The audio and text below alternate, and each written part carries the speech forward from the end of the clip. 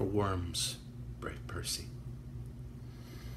Fare thee well, great heart, ill weaved ambition. How much art thou shrunk? When that this body did contain a spirit, a kingdom for it was too small a bound. But now two paces of the vilest earth is room enough. This earth that bears thee dead bears not alive so stout a gentleman.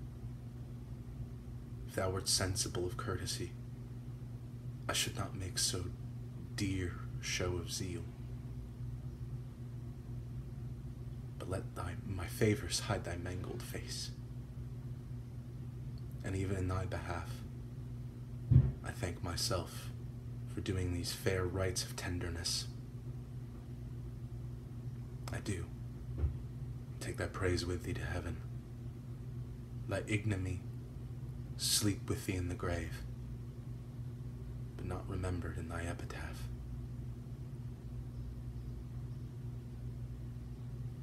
Until tomorrow, cheers.